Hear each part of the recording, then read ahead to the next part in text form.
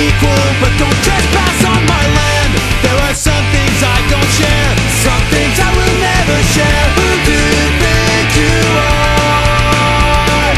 Who do you think you are?